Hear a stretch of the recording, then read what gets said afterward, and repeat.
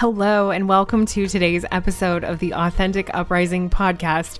I'm your host, Jill Simons, and I'm so excited to grow in the radical art of standing in what God says about you with you today.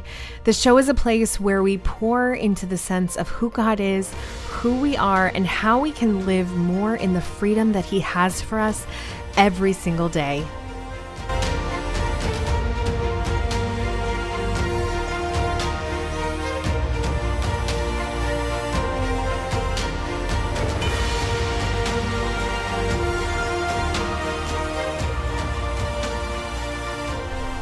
Hello, and welcome to today's episode of the Authentic Uprising podcast. As always, I'm your host, Jill Simons, and I'm so happy to be here with you today.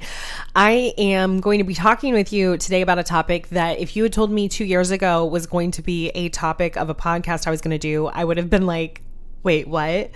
Because nothing could be further from my lifelong default mindset than the topic of today's episode. And that is this really simple idea that has just captivated my imagination and led me down this very long rabbit hole that I think has been really fruitful. And that is the idea that Sunday comes first.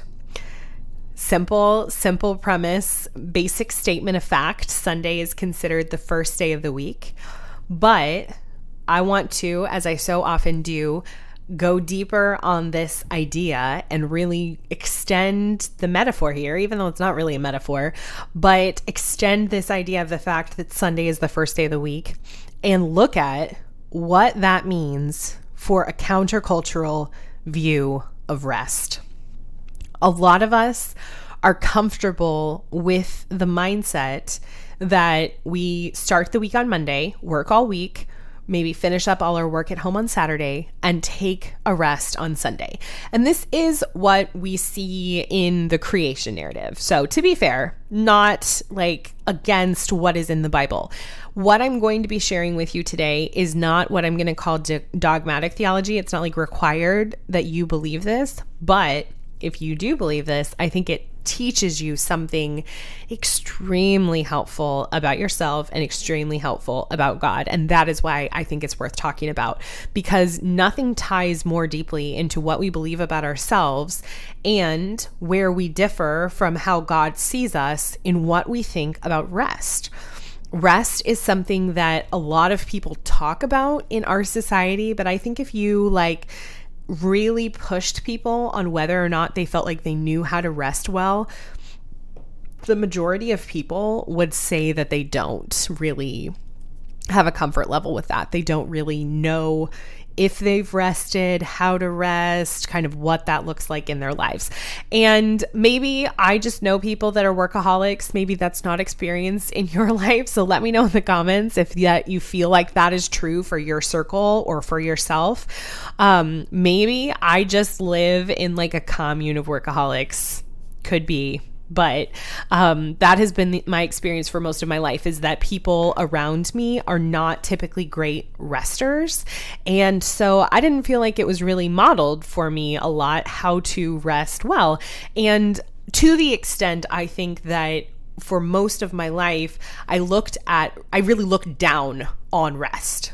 I looked at it like something that was sort of weak to need or sort of um, I want to use an accurate adjective here, but sort of like disappointing if you were a person that needed to rest frequently. Um like that was just not living up to your potential. I think that that's the most accurate statement i can make is that if you were resting on a regular basis you were actively like leaving stuff on the table not living up to your potential not doing everything that you were capable of doing. And so, when this idea, this simple statement was put to me that Sundays come first, that was such a like epiphany to really explore gosh, what what would it mean in my life if I thought about living the week truly Sunday to Saturday? Where I was starting the week, the first day of the week was about resting. And then I did the work. And this is supported throughout the lives of, you know, holy men and women throughout history. And most recent example would be Mother Teresa, where, um, you know, she was serving the poor and the dying in Calcutta along with her order. And so you would think that in a city, just endless essentially amounts of people needing care end of life care especially how she would be you know constantly inundated with the opportunity to work and so you'd think that maybe the sisters pulled really long days that they would you know go on little sleep in order to serve people as much as possible and when you look at the actual schedule of the Missionaries of Charity, which is her religious order that she had founded there in Calcutta, that is not the case. They had extended times of prayer, long extended times of prayer. They had times of repose for the sisters, scheduled times of rest, and they slept a relatively full night's sleep on a regular basis and you look at how that how that um, community has had a sustained impact in Calcutta and around the world. And Mother Teresa shares frequently that a lot of that is due to a culture of rest. And I think that that ultimately leads back to what makes us uncomfortable about rest. What is it that we're worried about if we rest? And ultimately, I believe that we worry about resting because we think that everything depends on us. We talked a couple of weeks ago about beliefs. And if you believe that you cannot take an entire day of rest, you need to look at, or I would encourage you to look at, I don't want to tell you what to do, but I would encourage you to look at what beliefs do you have about rest? What do you think it says about you as a person if you rest? What do you think of that it says about God if you cannot rest? And I think ultimately, for many of us, I'll just speak for myself. This was my own journey on rest. I absolutely believed that if you rested, you were kind of leaving things up to chance. You were not being fully in control of the situation. And that lack of control was something to be looked down upon. I really worshiped unintentionally, but in reality, I did worshiped this idea of control because I wanted to do my project in front of me as well as possible and then present it to God. I had this me to God mentality. And so it was not like I was an atheist. It's not like I was devoid of Christianity.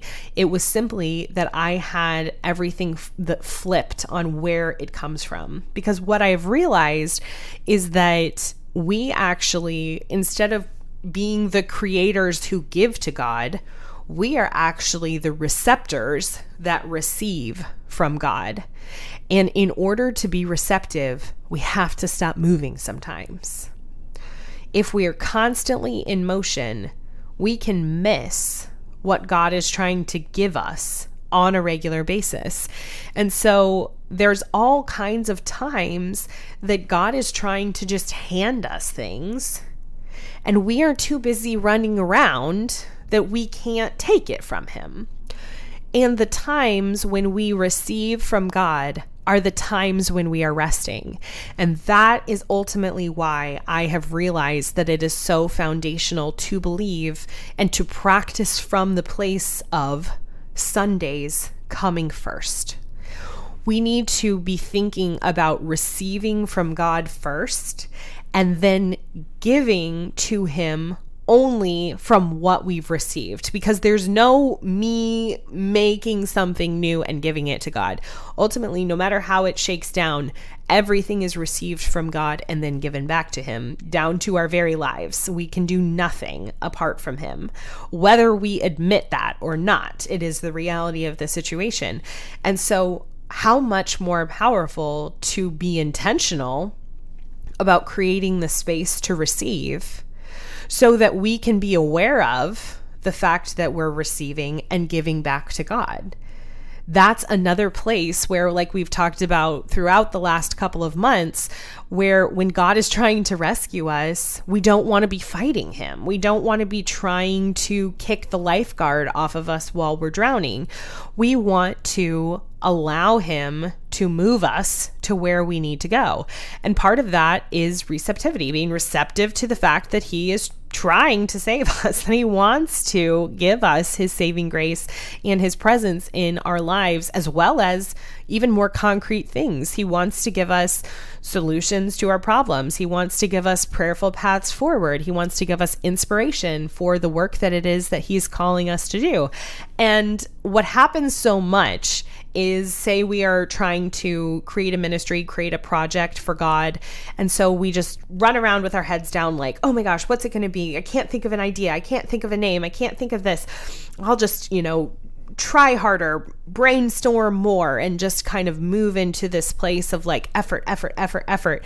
And I have this image of God just like holding a piece of paper with everything we need, and He's following us like as we just run around all over the place and if we ever stopped at some point and been like what what do you have for me on this he would just hand us the piece of paper and it's not always that way. It's not like we just can always expect a direct download of everything that God has for us. There's been lots of times where I've gone to Him in prayer and in rest and been like, what do I do? What is next? And He's just said, you know, I want you to keep coming to me.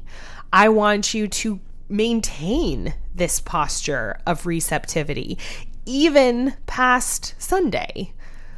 I want you to stop putting in all of this effort to try and create something and I want you to actually understand what it is to receive from me. I want you to actually understand what it means to wait on the Lord. And that's really hard for a lot of us. But I know that there is so much potential fruit in our lives and even just like no faith background at all like medically this is helpful to have this rest first mentality of giving our body what it needs, giving our body the time that it needs, the sleep that it needs, the water that it needs, all these things that get pushed to the side because we're so busy. Having a first principle of starting with these things, starting our week with these things, sets us up to be receptive to those things throughout the week. How many people do you know like meal prep on Sundays where they get all of the healthy food ready for the week? And I think that that's something people can get very like legalistic about Sundays. Like, can you do this? Can you do that? Is this okay for Sunday? Is that okay for Sunday? And I think that that's ultimately super unhelpful because it, again, is like all that like what do I do and energy and control and like let me make this let me rest better than anyone has ever rested like that is totally out of the spirit of it. I think the best question for Sundays is what do you get to do because you are the child of God? That's how I run my Sundays, 110%. What do you get to do because you are a child of God. Sometimes that means you take a nap. Sometimes that means that you prepare healthy food for the week because that's something that you have access to as a child of God, something that you get the privilege to do. But no matter what it is, it's not from this energy of control. It's from this energy of what is this privilege that I experience because I'm a child of God. And it's obviously not exclusive. You know, this isn't the kind of privilege that cuts other people out. This is universally available privilege to anyone who steps into that child relationship with God through the sacrament of baptism. And when you look at Sundays that way, you can kind of leave behind the legalism and, you know, can I mow the lawn? Can I do this and that and the other thing? And move into a place of what do you get to do? And sometimes that means that there's things that are like quote unquote on the to do list that don't get done on Sundays. I think it means that more often than not where if you've had a crazy week, you are run down, you've had no time, and it's something like, I really should mow the lawn. If that is something that is like life giving to you, then mow that lawn. Go get it. But if that's something that is just another like frustrating, painful item on your to do list after you are already at the end of your rope, don't do it on Sunday. You know, it is okay to live within your limits. It's okay to live within what bandwidth you have because I can guarantee you that if you truly rest on Sunday, then during the week, when there is that window of time maybe available, then you are so much more able to do that with some level of joy and peace than if you gutted it out on Sunday. And so, obviously, there's mountains of individual discernment that are needed with this. And so, that is why it's not helpful to have a podcast like here's the do and don't list for Sundays. There's those things on the internet list from Pinterest like do and don'ts on Sundays. Maybe if that's helpful to you, then you can check them out, but I don't like things like that. I like to ask the question, what do I get to do because I am a child of God? what is it that is available to me because I'm not trying to control everything. And I think a lot of the fear of this mindset comes from the founding of I know I all of you know, I'm in the United States, and there's a huge culture of work ethic, the American dream, all that good stuff in the American culture. And I think there's this idea that we are going to become lazy people if we truly rest on Sunday. If we think about resting first, like that just creates slothful, lazy people that don't contribute to society and don't get anywhere in life, et cetera, et cetera there are definitely lazy people 100%. That's not, everybody knows that. But I'm pretty darn confident that those lazy people are not being created by intentionally resting with God on Sundays. I think that intentionally resting with God on Sundays is what empowers us to not be lazy people, to not be people that are so fully, completely tapped out that we can't even do our lives come Monday morning because we are just constantly rushing, constantly controlling. Taking this rest on Sunday allows us to live from a place of so much greater peace and so much greater joy the rest of our week that we're able to do the work that is in front of us with so much more presence of mind and so much more uh, just healthy spiritual attachment to that work, wanting to do it in so much as it is good and what God has put in front of us, that it's good to work, it's good for our souls, it's good for our bodies, but it's also not the essence of who we are. It's also not ultimately what gives us worth. And both things can be true at the same time. And I think, again, we've talked about this so many times on the podcast. So tempting to just like melt into an extreme, to just say, oh my gosh, that, you know, you can never rest because we're worried about lazy people or everything needs to be like on your own schedule and only when you want to and just this culture of um of laziness basically. The the answer again is in the middle where it is very important to rest and it's very important to do the work placed in front of you to be faithful to your vocation. If you're a husband and a father you need to you need to work. You need to have a job. You need to provide for your family. Um, and that might be true for mothers as well. Maybe your work is in the home that you are needing to provide for your kids on a regular basis but rest needs to be prioritized at the family level for each of the people in it. Children need time when they're not playing sports, not doing homework, not going to school. Adults need time where they are free to do their leisure activities that they enjoy, not things that are going to stress them out even more or be mindless kind of time sucks, but things that are actually invigorating to their souls. Time in prayer, time in nature, time, you know, working out or nourishing their body praising God for the gift of their body by doing those things. And so, regardless of where you fall right now, I want to encourage you that it is possible to live this way. It is possible to take your rest first on Sundays, start the week with that day, even in your mind, and then live from that place where you know that you're going to get the rest that you need. And it is not an endless race where you are not without reprieve, without leisure, without time to be refilled. Logistically, that can be challenging, but it's worth fighting through the logistical issues. If you are, you know, a family in the early stages of young kids and stuff like that, trade off. Have, you know, one person have some time on Sunday, two hours or something like that, to truly um, do what it is that they enjoy doing and then switch do the same for the other person. Maybe one of you that's going to involve like something you can do with the kids something out in nature something like that. But if it doesn't if that's not for you don't push it. Again this is about you as an individual not and and relating to God being a child of God and not you as mom needing to be on all the time. Because that's what ultimately burns us out creates this false narrative that our control is the most important thing.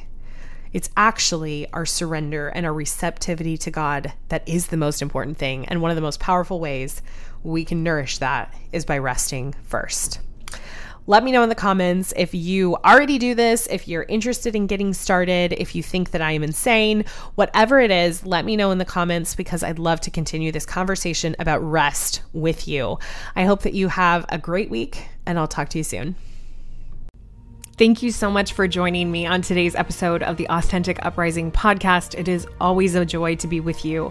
I encourage you to subscribe to our podcast, subscribe to our YouTube channel, um, whichever place you most prefer, or do it all if that is what floats your boat. We would love to continue to get to know you better and grow in relationship with you. And so I encourage you to check out the links in both our show notes and our YouTube description that tell you more about where you can connect with us us elsewhere. The two big things we have going on besides the podcast is our shop that is full of reminders of who you are in God, helping you to really grow in that radical art of standing in who you are and giving gifts that help others to do the same. The other big thing we have going on is the Uprising Academy. This is all of our formation um, programs, workshops, retreats. Everything is available virtually and on demand where you can sign up and continue to learn more about radically standing in what God says about you especially if you are in a place in your life where you are not being fed the way that you long to be fed, whether it's in your community, whether it's at your church, whatever it is, there is more for you, and we can absolutely walk with you into it through the Uprising Academy. All those links are in our show notes. And if you enjoyed this episode, I encourage you to leave a review. Reviews are the number one way that we help get in front of new faces new people that are able to be touched by the radical art of standing in what God says about us. I love you. I'm praying for you. I hope you have an amazing week.